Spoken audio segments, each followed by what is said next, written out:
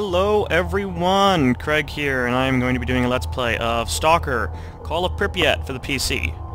Now, the thing you're probably going to notice right off the bat is that the video quality for this series is not going to be up to the usual standard I'd rather be at. It's a, I've done a lot of troubleshooting, I've done a lot of work, but I cannot get the quality any better than what it currently is. I'm recording this on a PC, and then I have to move it over to my Mac, and there's converting. It's a whole pain in the ass, but bottom line, it's not going to look as good as I would hope it would. Secondly, I am playing the complete version of Call of Pripyat. That is a mod, where a small group of really dedicated people got together and completely overhauled the entire game. They changed textures, they improved AI, they uh, they changed dialogue or text dialogue to make it more understandable. Uh, they did a lot of stuff, and it's really impressive. So, just going and know that this is not the original version. This is an upgraded version, and uh, it also improves performance, allowing me to play the game with everything kind of cranked up, with the exception of lighting. Lighting has to be static, because on my PC, any type of dynamic lighting doesn't allow things to spawn, so people and animals would not be around. And that's a pretty boring game. So let's jump right in. As a disclaimer, I do have some experience with this game. I have never played any of the other games in the Stalker series, but when this game first came out, which was about a year ago, I played it for maybe two and a half hours, but that was on a crappy PC that ran it terribly, so I gave up because it was too frustrating to try and play. And uh, I've actually already recorded a Let's Play here, but the footage was really bad, so I have to redo it. So I got about an hour in, and uh, yeah, nothing went smooth.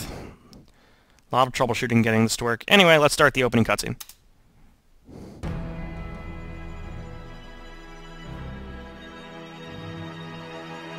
At 0123, on April 26, 1986, the reactor of Power Block 4 of Chernobyl NPP is destroyed following a series of thermal explosions. That's not good. The resulting radioactive cloud moves across the European part of the USSR, Eastern Europe, and Scandinavia, eventually reaching America. All right. The consequences of the disaster are so serious that the government is forced to begin evacuating the residents of nearby towns and villages. A 30-kilometer exclusion zone is created to stop residents from returning to the contaminated area. Would you really need to tell people to stay away from a radiated zone? Despite Seriously. the disaster, the Chernobyl NPP continues to operate. The existence of a power station, as well as the fact that the area is no longer inhabited, leads the Council of Ministers of the USSR to set up a network of secret laboratories in the exclusion zone. Call Gordon June Freeman. 11th, 2006.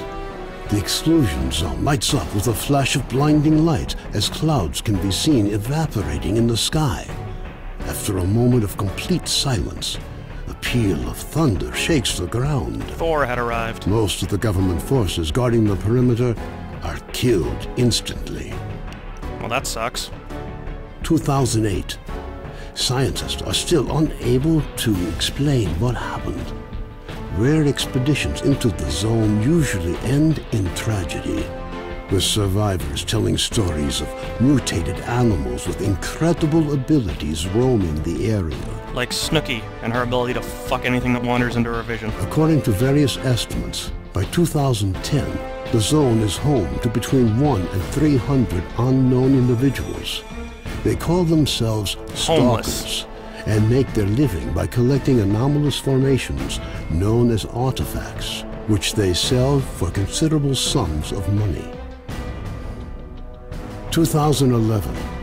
Despite military cordons, the stalker phenomenon is growing in numbers. Mm-hmm. However, stalkers travel primarily around the zone's edges, with the center remaining terra incognita. The few attempts to penetrate deeper into the zone have all ended in failure. 2012. A stalker called Strelok solves the secret of the Brain Scorcher, a man-made emitter that had blocked the way to the center of the zone for years. After the Brain Scorcher is disabled, All stalkers rush for the center of the zone. Some in hopes of finding a treasure trove of artifacts. Others in search of the Wish Granter. Wish Granter sounds like something out of Mordor. It doesn't sound like something out of Chernobyl, exactly. The government decides to launch a large-scale military operation.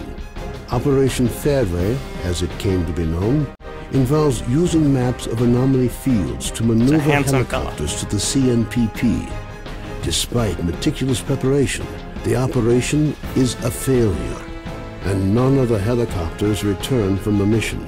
Bravo team, respond. Major Degtyarev, a USS special Team. agent, is sent into the zone to investigate the disappearance of the helicopters. Disguised as a stalker, equipped with a regular assault rifle, two weeks' worth of supplies, and a radio to communicate with HQ, the Major begins his journey towards the center of the zone. I feel like for that opening cutscene, the audio is actually ahead of the video, but whatever. So here is Stalker, everyone. This game is really interesting and really ambitious. Uh, if the game freezes like that, uh, that is because the game is just loading in something. It's a big open world. You gotta eat, you gotta sleep. Uh, if, you can't take a lot of hits before you die, so you do have to uh, bandage yourself up to stop bleeding, and you always gotta mind your medical supplies. Game is pretty big. It's not an RPG. You don't level up from killing stuff or anything like that. You just collect better equipment. So here's some stalkers. Gonna pull away my gun. weapon I put away, away my gun. Calm down. I won't talk to you otherwise. So hey man, what's uh? His name is Cripple. Okay. So nearest camp is a boat. Alrighty. I have a question for you. Know anything about some crashed helicopters? It lands on a plateau in the south of Zaton. Actually, I heard Noah from the Psycho Barge might know. That's great. I can't wait to go there. You can trade with pretty much any NPC. This guy doesn't have much on him, it seems, but, uh... Hey, man. You look like you got pretty good equipment, and you're a cripple, so you probably don't need this equipment, right? Like, I think I could be better suited for it, so... Whoa, hey. Let's calm down, everyone. Let's just calm down. But, uh, could you look down the barrel of this gun for me? Yeah, that's how I do. So, let's see, we got a sawed-off here, got an AK, and take all. When you loot people, you do get a small amount of money each time you loot. That is, again, an addition from the mod that was not in the original game. It, I can't tell you how much better this game looks and runs with this mod. I highly recommend you download it if you have any interest in playing Stalker. I'll put a link in the description. Ah, grass. Ah. Let's head to the boat, which is the first safe zone.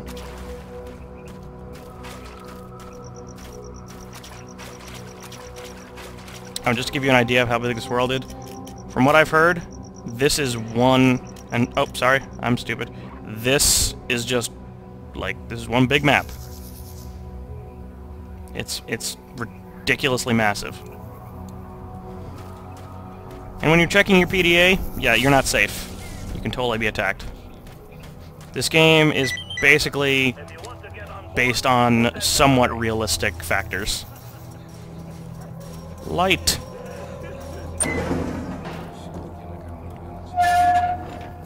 Listen up. Sultan wants to see you. That's nice. I'll get to him in a second. So, uh, what you got over here? You got some bread? stalkers. How are you? I'm doing good. I'm gonna take that bread, though. You, you don't seem to be eating it. Does anyone have vodka? You do have vodka. Good hunting. Vodka. Vodka. Anything else? Oh, I've got a ration. Sweet. Oh, can I have that sausage? Can I ha can I have that sausage? Can can I have that sauce? No. Well, darn it. Oop. Got an energy drink over here. All nice. All right, let's talk to this guy. Listen up. The Yeah, I know. Sultan wants to see you. Sultan? Where's Aladdin? What kind of job can you offer me, Sultan? The money-making kind? Well, that just seems suspicious. But, uh, yeah, what do you, what job you offering? Shake down a few of Beard's stalkers. There is a guy in this game whose name is Beard. It's a real cinch. Late at night, you and your guys come up to Savchenko... Sav yeah, that's Savchenko. And before these tourists figure out what's going on, you take them for a ride. Like this is Marvel vs. Capcom. We get dough, you get the props. Catch my drift? Alrighty then. See Knuckles standing over there. Alright. See You're you. Knuckles, huh? If you manage to stay Uh, in one piece. where's that Sonic is. and Tails? Where's Biggs the cat? He was always my favorite. Okay, I'll deal with him in a second. Let me see what other jobs people got around here. Do you have any jobs? Nope. I'm not gonna talk to him. Hey, here, Mark, man. привет! Hey, whoa. What's the job? I had some loot in the car, but then an earthquake hit and the car fell underground. I checked it out and the car seems to be with seems to be within reach, but uh, there's mutants down there. You know, snorks. Yeah, I've seen them. They're creepy. Believe it or not, I ain't even scared of controllers, which I've never seen. Uh, but those damn snorks too creepy and disgusting for me. If you get a hold of that container with the security lock, we'll split the loot fair and square. Sure. Why not? Привет, брат. Anything else I want to worry about? Welcome aboard our swamp icebreaker. Okay. Uh, hey, I'm gonna be a good guy here. I'm gonna warn him about the attack that Sultan over there wants to do. So, hey, a guy wants to attack the Stalkers.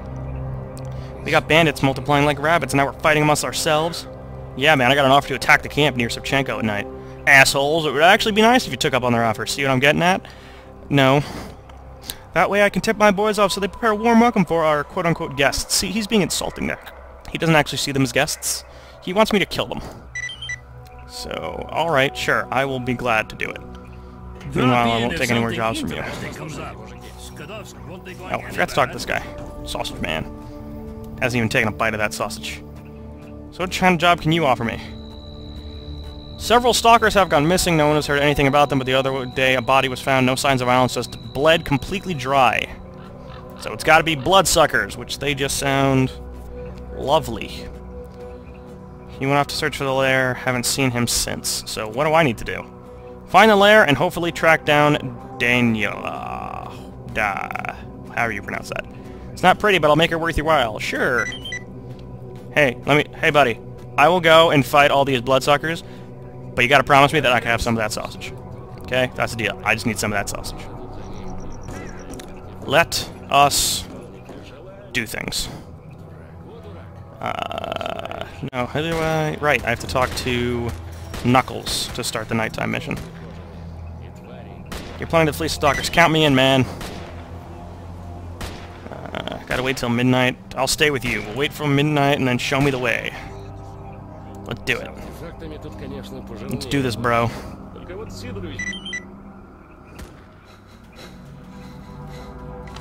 Where am I? Going on? Okay, got four guys. Four guys.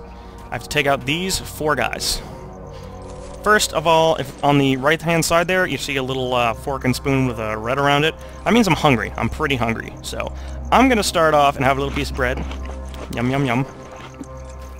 And uh, hey man, let's roll. We'll give it to him good. What's I'm going going to on? quick save. Take a chill pill, man. We'll take them easy.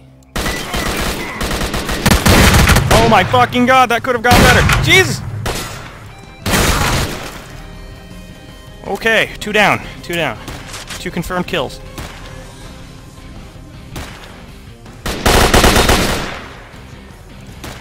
Still alive? Did I get him? Did I get him? Nope.